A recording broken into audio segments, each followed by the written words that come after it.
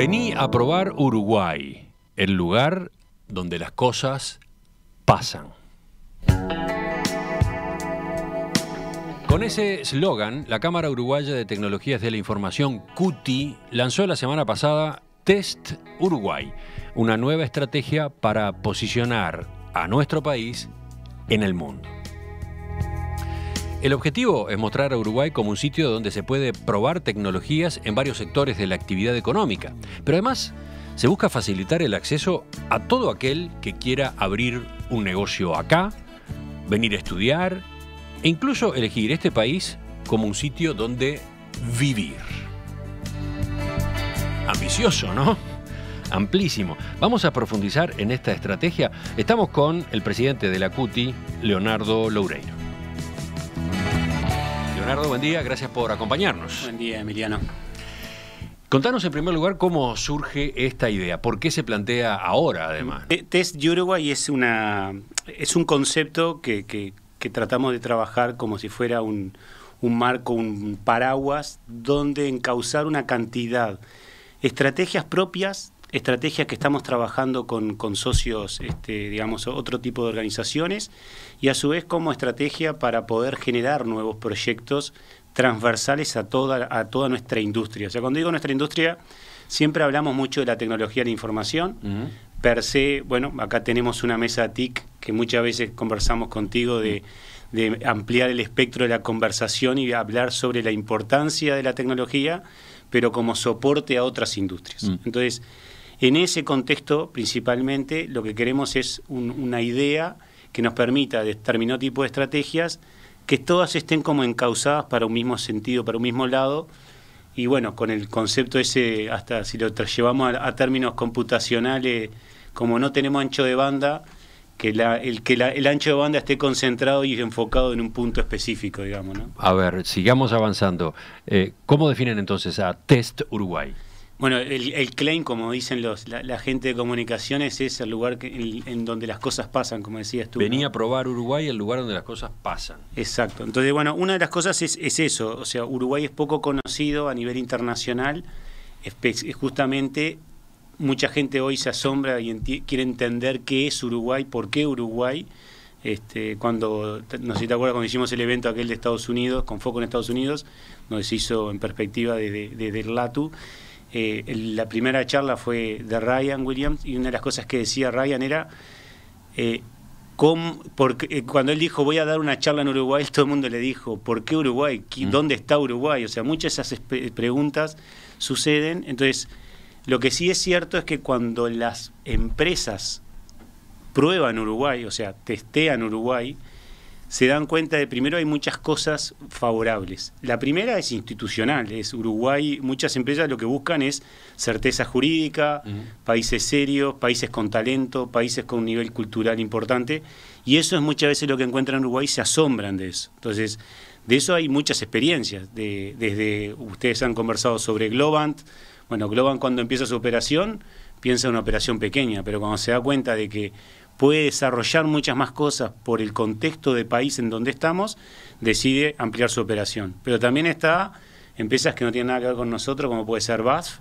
que este, empieza con una operación mm, básica de 350, 400 personas, hoy ya está duplicando y va a superar eso, capaz que llega hasta las mil personas. ¿De qué empresa estás hablando en ese caso? La alemana BASF, ah, BASF. BASF, o sea, en realidad cuando lo dicen en inglés em, em, eh, casi nadie lo entiende, pero los viejos como nosotros lo, nos acordamos de los cassettes.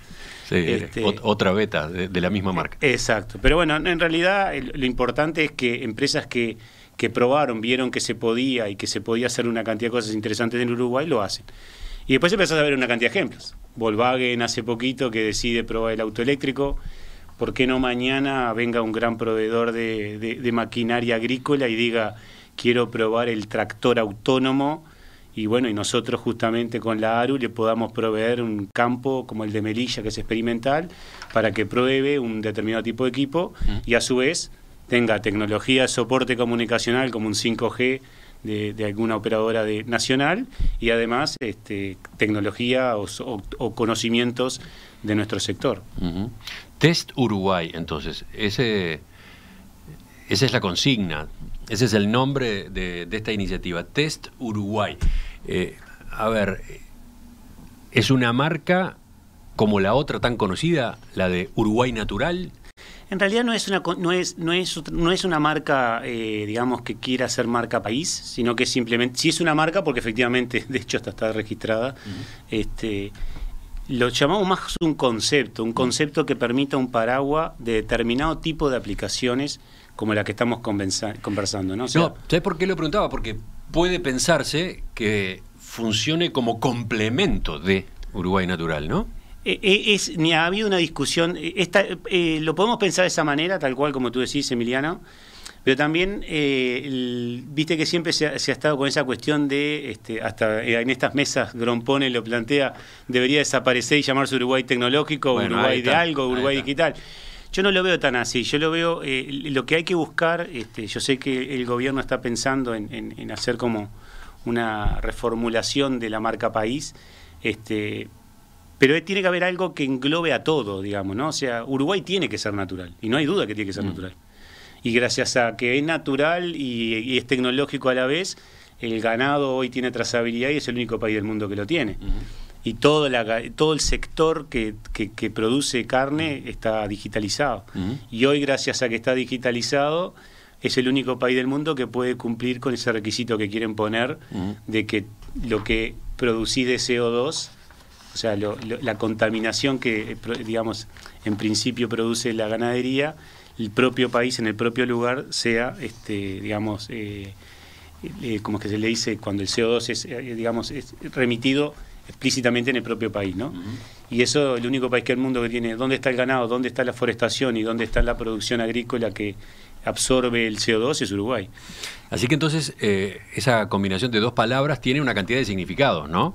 Tiene muchos. Eh, eh, test Uruguay es pruebe a Uruguay, digamos, pruebe a este país, y la otra, por lo menos hay otra, que es pruebe en Uruguay, ¿no? Pruebe desarrollo, pruebe ideas, pruebe innovación en Uruguay. Es, es tal cual eso. a ver, nos termina pasando de que cuando muchas veces vamos a, países y tú bien sabes, lo hemos hablado varias veces en esta mesa, la importancia que tiene para nosotros Estados Unidos, pero sigue pasándonos que cuando vamos a Estados Unidos la gente no sabe, así, una empresa en Uruguay. Y muchas veces usamos hasta esa expresión hasta el punto de vista comercial. Probanos, hagamos un proyecto pequeño. Y cuando veas el valor que nosotros tenemos y el valor que entregamos, vas a seguir trabajando con nosotros. Y la mayoría de nuestros, nuestros socios eh, de la Cámara sus grandes proyectos empezaron con pequeños proyectos que el cliente nos probó. Mm. O sea, una empresa americana que probó a una empresa uruguaya. y, lo, mismo pasa cuando decís, quiero probar cosas acá. Hay un ejemplo que muy poca gente conoce, que una empresa china hizo una instalación de prueba de, unas antenas en Punta del Este, pero acá en Uruguay no vendió casi nada de eso. Sin embargo, trajo a, la empresa eh, costarricense, Alice, de, de, provisión de, servicio de telefonía, les mostró lo que cómo funcionaba toda la tecnología acá en Punta del Este y terminó vendiendo en Costa Rica. O sea, no es solamente probar, eh, o sea, es tal cual lo que tú dijiste, es probar el país, el contexto completo, o sea, puedo probar un mercado, puedo, e, es, lo que nosotros decimos a veces es, a veces, este, muchos, de hecho a veces no lo decimos nosotros porque no nos gusta, pero nos lo dicen otros de afuera. Cuando uno es a veces pequeño es mejor. Bueno, eh, recuerdo este razonamiento, recuerdo eh, esta misma defensa del potencial de Uruguay cuando se lanzó, o mejor dicho, cuando avanzó el plan Ceibal, ¿no? O sea, la idea aquella de One Laptop per Child de, de Negroponte eh, encontró en Uruguay su banco de prueba, digamos, un, país que por su tamaño, por su cultura, por las características de su población, por el, desarrollo de, las comunicaciones y en especial de, Internet, eh, servía para eh, ver si aquello, si aquel modelo andaba, ¿no? Y anduvo. Este, y, a partir de, y a partir de la experiencia Uruguay, del Plan Ceibal, bueno, después ha habido otras en otras partes del mundo, ¿no? Mira, me, me, viene espectacular ese, ese, ese ejemplo porque no lo había usado todavía cuando lo analizás tiene muchas componentes de lo que nosotros queremos que sea Test Uruguay. Y viste que aparte yo uso, Test Uruguay porque no lo pensamos para hablar con gente de habla hispana. Yo digo en español Test Uruguay. No, lo que pasa es que nosotros lo, estamos pensando para decírselo y explicárselo a un empresario americano o a un mm. empresario chino o a un empresario europeo. Entonces, por eso lo, mencionamos en el concepto de cómo se hizo Uruguay en inglés. Pero usando el ejemplo que ponías de Plan Ceibal, es el mejor ejemplo que podemos encontrar. Es una idea de un este, visionario como Negroponte que quería un lugar donde poder probar ese concepto. Nunca se imaginó que alguien le iba a decir todo el país. Bueno, y los que tuvieron detrás del Plan Ceibal, como Miguel Brechner, lo que además de la idea original, la mejoraron, la localizaron, como se dice en el contexto internacional, cuando alguien toma esa idea y la, y la lleva a la cultura específica del país, y la potenciaron. O sea, porque además de lo que se pensó originalmente el plan Ceibal, hoy hay una cantidad de cosas que antes no se habían imaginado, pero sucedieron porque el Ceibal se construyó de esa manera. Entonces, ese tipo de cosas son las que suceden. O sea, o sea el, plan Ceibal, el plan Ceibal funcionó, pero al mismo tiempo fue un piloto, fue una prueba piloto. No, no solo una prueba piloto, sino que fue una prueba piloto de lo que nosotros denominamos muchas veces ecosistemas de innovación. Es lo mismo, o sea, el mismo ejemplo que si vos analizás y haces un nivel de abstracción de lo que fue el plan Ceibal, lo analizás también en el de trazabilidad del ganado y te vas a dar cuenta de que ahí se digitalizó a la vaca, se digitalizó a los camioneros, se digitalizó la feria, se digitalizó la distribución de la caravana, se, digitalizó el pesaje, se digitalizó mucha cosa. Pero eso se empieza a generar, o sea, Uruguay, por su tamaño, es uno de los pocos países del mundo que tiene todo el catastro digital, toda la cartografía. Es por el tamaño. A veces tenemos que ser realistas y decir, no es porque ah, a nivel nacional somos Pelé, no, no. Este, tendríamos que decir somos Suárez Cavani, pero bueno. Test Uruguay o Test Uruguay, esta iniciativa de la Cámara Uruguaya de Tecnologías de la Información lanzada la semana pasada, es el tema que estamos eh, desarrollando, eh, tratando de, entender, sobre todo para, para ver ahora cómo va a funcionar. Y, y para, para comprender eh, cómo, cómo se complementa con otras, ¿no? Por ejemplo, esto de que abarque a tantos sectores, de que se dirija a, tantas posibilidades de, prueba en Uruguay. Eh, cómo, cómo, engancha con, con, la lógica de la CUTI, de la Cámara Uruguaya de Tecnologías de la Información. Algo ya dijiste, Leonardo, pero me gustaría que profundizáramos enseguida. Victoria Rodríguez es la artista invitada esta semana en el ciclo Arte UI en Perspectiva.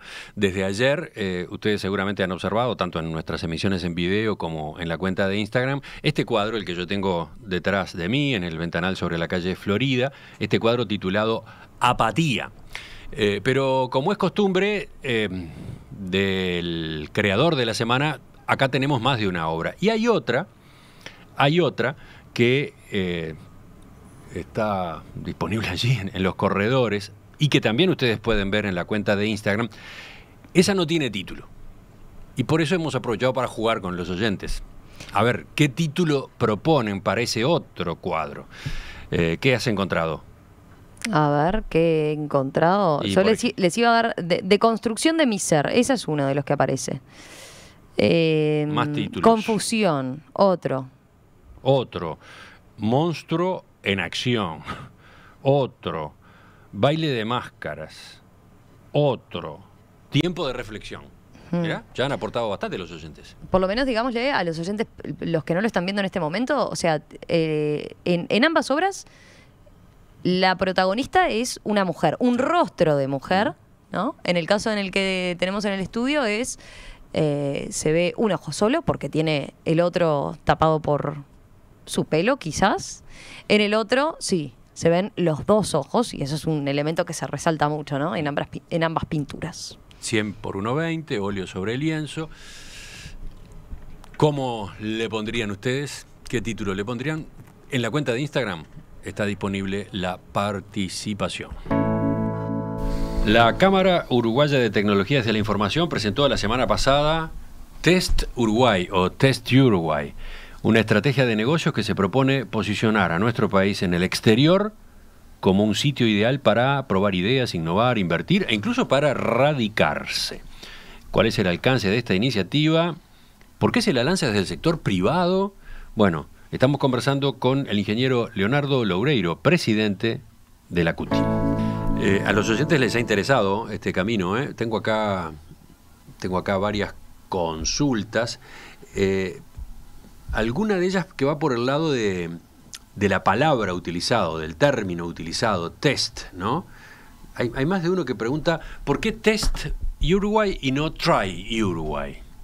El, eh, bueno, fue una discusión. El tema es que el try está utilizado más funda- fundamentalmente como use por corto plazo de tiempo y a veces el use y tire, digamos, ¿no? O, o use, cómpreme y nada más.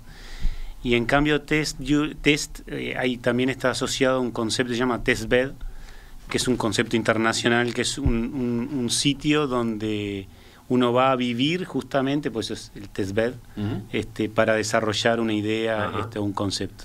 Entonces, por eso la diferencia entre test y try. Bien. La idea entonces es utilizar este eslogan para salir a mostrar el país al mundo.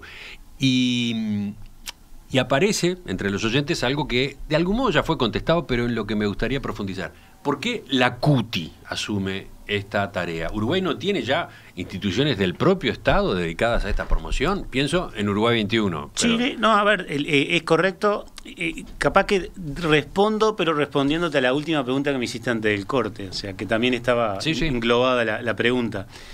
A ver, nosotros como Cámara lo que buscamos es trabajar en lo que nosotros a veces siempre nos cuestionan porque si usamos la palabra ecosistema, ¿no? O sea, nosotros trabajamos en un ecosistema en donde trabajamos y coordinamos y somos catalizadores de muchas cosas con muchas organizaciones. Tenemos proyectos que estamos en conjunto con Plan Ceibal, algunos con Uruguay 21, algunos con Plan Ceibal, Uruguay 21 y la ANI al mismo tiempo, otros con AGESIC, otros con AGESIC y la ANI, otros con el Ministerio de Relaciones Exteriores.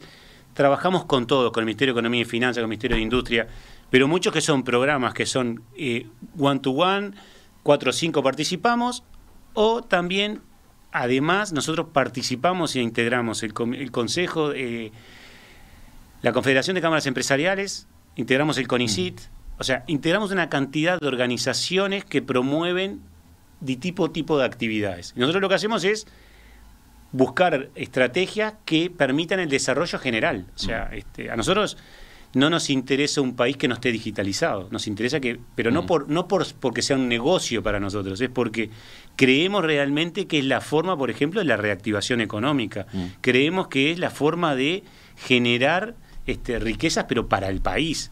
O sea, eh, trabajo calificado, ya le hemos hablado muchas veces de eso. Entonces, ese es el concepto. Pero nosotros acá estamos trabajando en conjunto con Uruguay 21, en conjunto con Plan Ceibal. Al final del evento se proyectó una película que va a estar relacionada a algo del Plan Ceibal. Este, después, si querés, conversamos sobre eso. Pero Los oyentes que nos siguen en la emisión en video en la web pueden ver, a partir de este momento, pueden ver cómo luce el sitio web que se ha creado, ¿no? El sitio web, eh, incluso un video que ahí está disponible, un video corto que también juega en, en- en apoyo a esta iniciativa, ¿no? Eh, Pero sigamos. Y, y- y cuando me decías eso, a ver, nosotros ya el año pasado, y estuvimos eh, en una mesa con, con el ministro Paganini, hablando del lanzamiento de Open Digital Lab. Bueno, eh, está, está bien incorporar Open Digital Lab a esta conversación.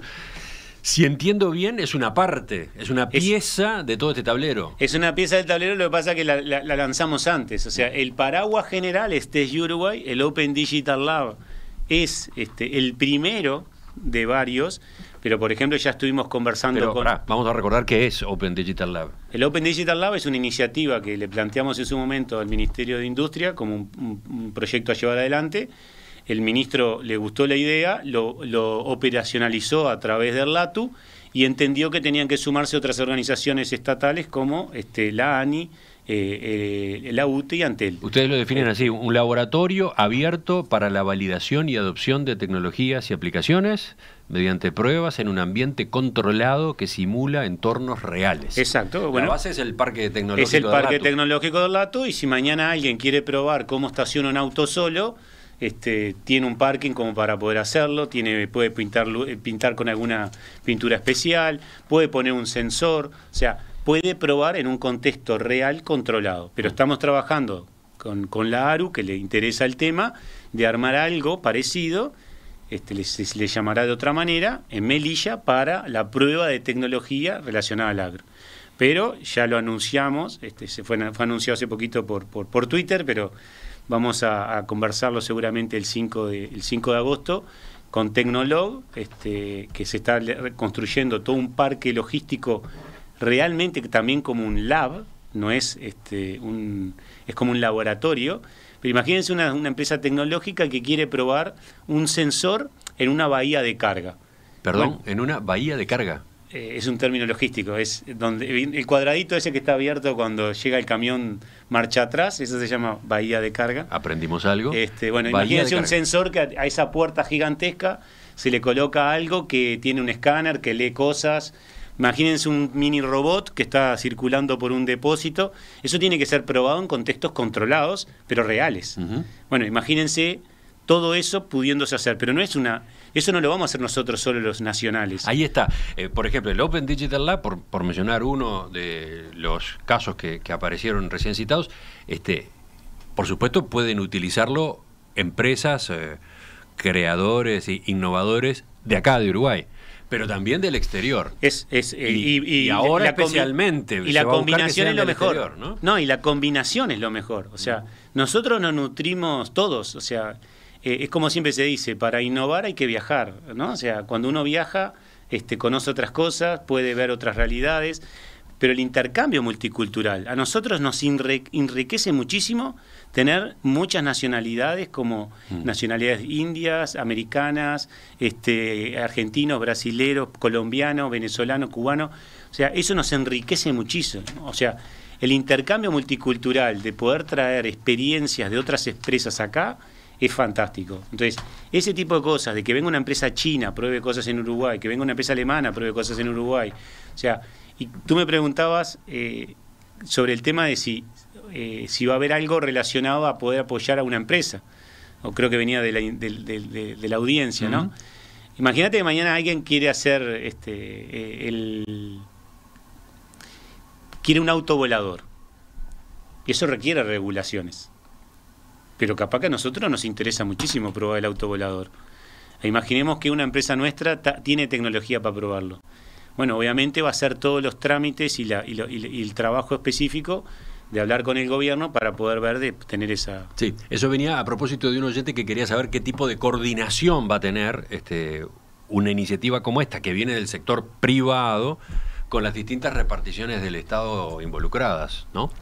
A ver, la coordinación creo que se vio explícitamente en el lanzamiento, ¿no? O sea, este, en la primera parte del lanzamiento este, tuve el, honor de poder conversar con el, con el canciller Bustillos y con el ministro Paganini. Nosotros tenemos muchas, muchas este, programas de trabajo en conjunto con el Ministerio de Industria, Energía y Minería.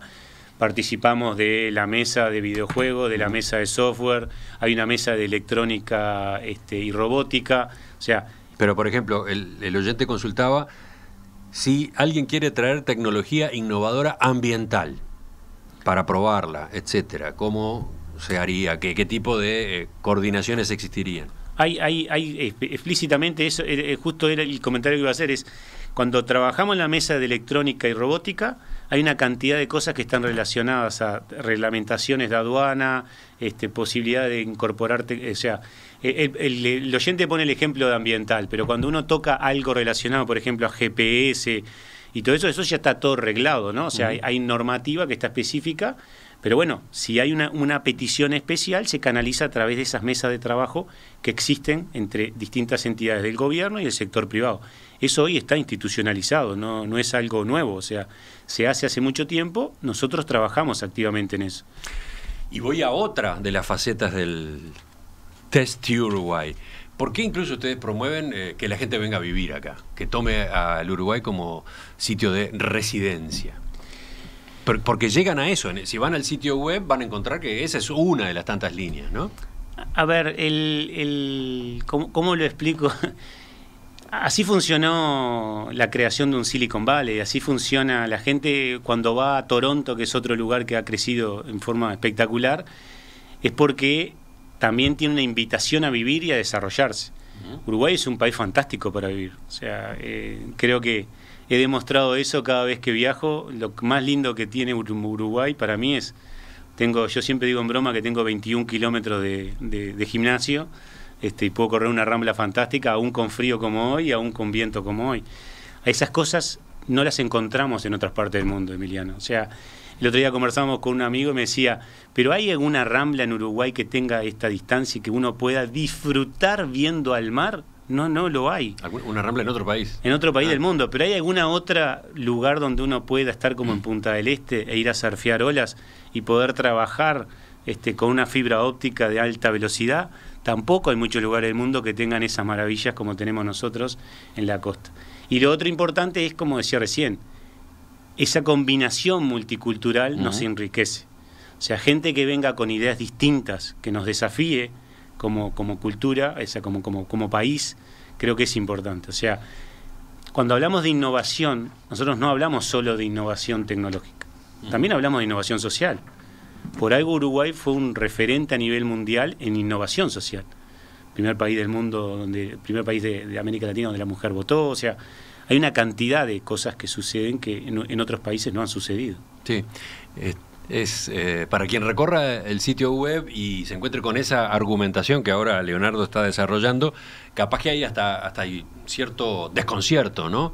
Porque más bien tendemos a pensar este, en el Uruguay lento, ¿no? Conservador, donde, donde cuesta cambiar. ¿Cuántas veces hablamos de eso? Sin embargo, ustedes privilegian, subrayan todo lo otro que, ha caracterizado a, este país, ¿no? Uruguay es maravilloso, lo que pasa es que la gente, nosotros estamos, usemos si querés la analogía del fútbol, ¿no? Este, nos cuestionamos que no pues, pasamos una, una fase de la libertad, de la, Copa América, nos, nos, cuestionamos esas cosas y cuando uno analiza lo que somos desde el punto de vista de tamaño, de contexto, nos tendríamos que sentir maravillados de poder mm. hacer lo que somos. O sea, ser un referente a nivel mundial en fútbol, este, es fantástico, o sea, no, no, es este no es obvio. Eh, no es obvio, es, donde las, es Uruguay donde las cosas suceden. O sea, donde tenemos la suerte de tener dos grandes jugadores de fútbol como Cavani y Suárez, pero también tenemos grandes científicos, como fue demostrado en el GACH, y tenemos grandes desarrolladores de software, como tenemos en varias nuestras empresas. Ustedes ponen el ejemplo de la app coronavirus. Esa está colocada como una de las referencias en el sitio web. y además, lo comentó Nicolás Jodal varias veces, fue un trabajo colaborativo, no fue el de una sola empresa. Pero además eso sucedió porque Uruguay estaba digitalizado.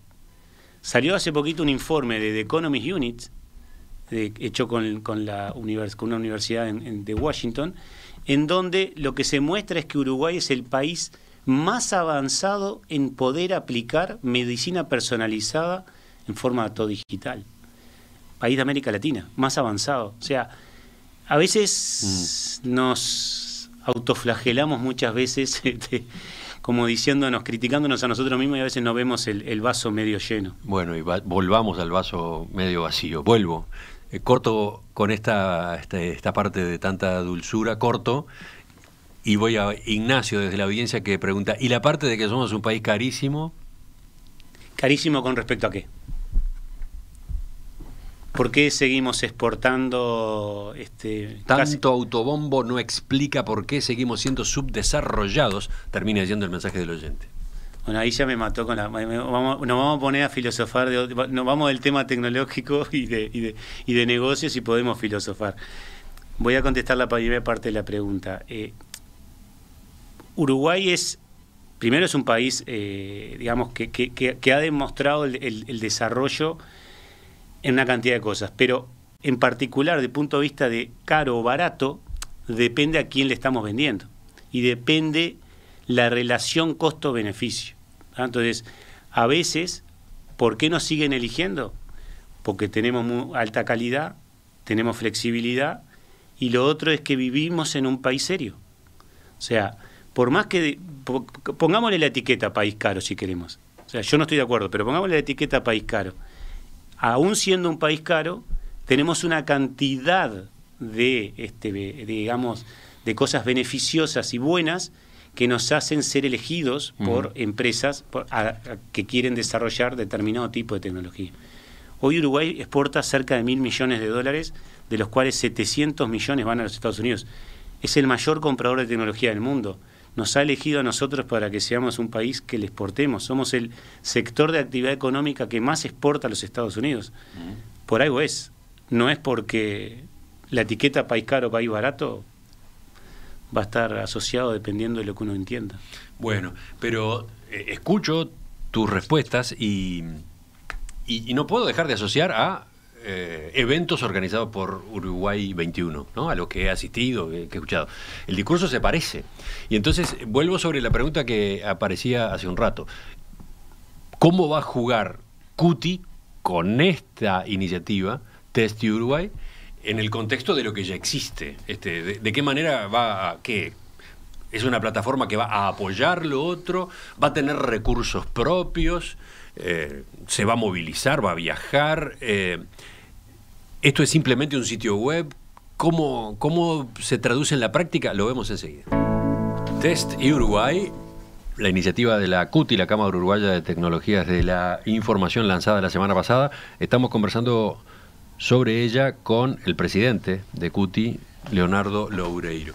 ¿Sabes que hubo una discusión entre los oyentes sobre tu elogio y tu destaque a la Rambla, a la Rambla de, Montevideo, como que se te fue la moto y mencionan, mencionan otros ejemplos en el mundo.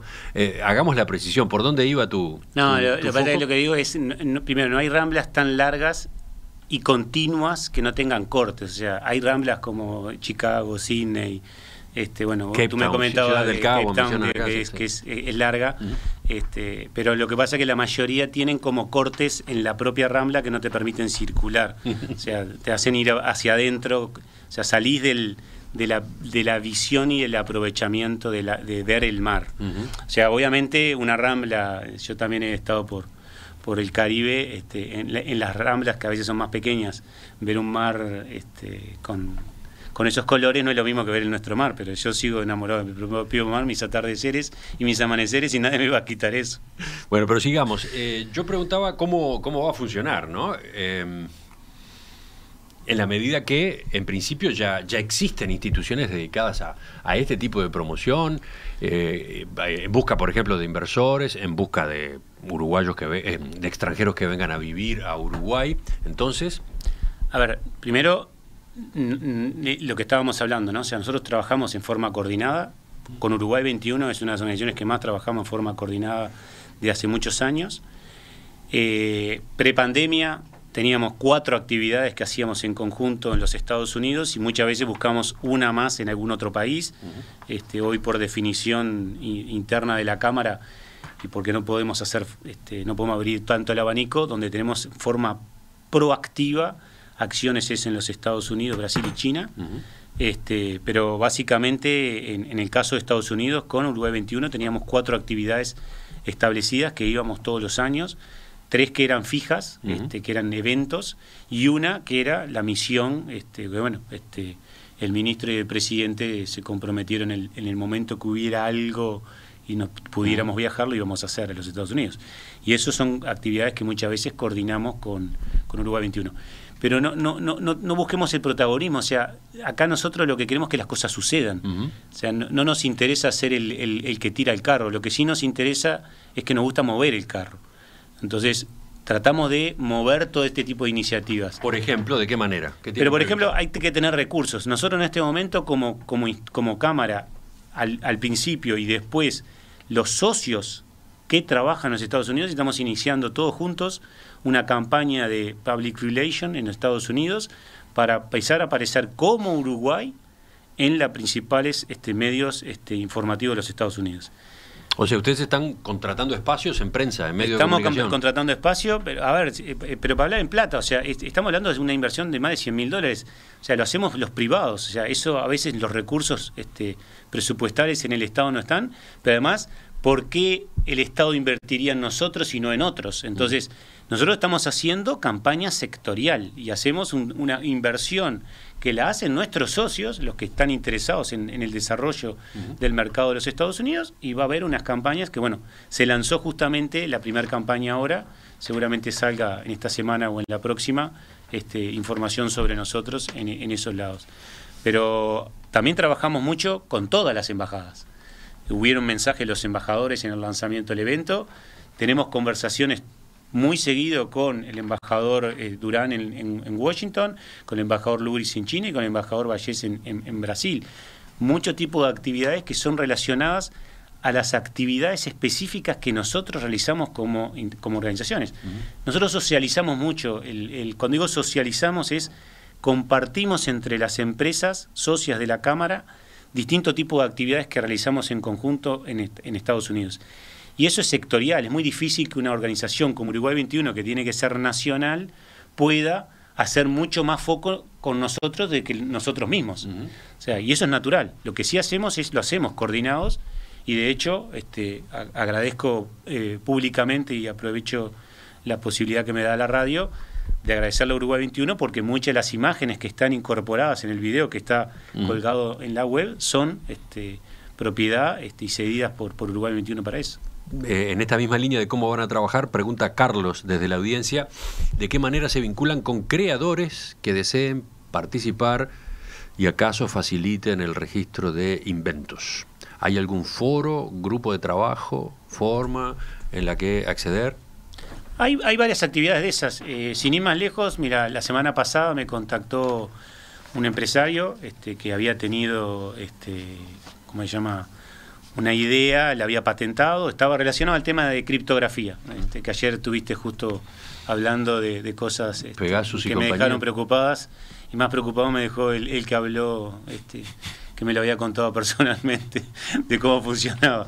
Pero bueno, este, pero justamente un, uruguayo que tiene una patente para una nueva forma de criptografía, pues no sé si todos saben. Criptografía, aclaremos el concepto. No, criptografía es la forma que permite justamente que un, eh, como hablaba ayer el ingeniero Papaleo, cuando una, un mensaje va de WhatsApp a otro va encriptado, la encriptación lo hace este, un algoritmo de criptografía, que es, la, como si fuera la, tecnología, me, sale ciencia, pero no es una ciencia, bueno, el, el, trabajo que uno realiza para poder hacer. Pero sin ir más lejos, todo el mundo, los que están trabajando en este sector tecnológico, saben que la computación cuántica, que también se ha hablado acá en, en el programa, este, va a romper todos los algoritmos criptográficos actuales. Entonces hay que hacer nuevas formas de criptografía. Bueno, este uruguayo patentó una nueva forma de criptografía y está analizando los mecanismos de cómo llevarlo a la comercialización. El cómo patentar y todo eso está bastante institucionalizado en el país. Este, mm. Así que eso, eso, bastante, eso bastante importante.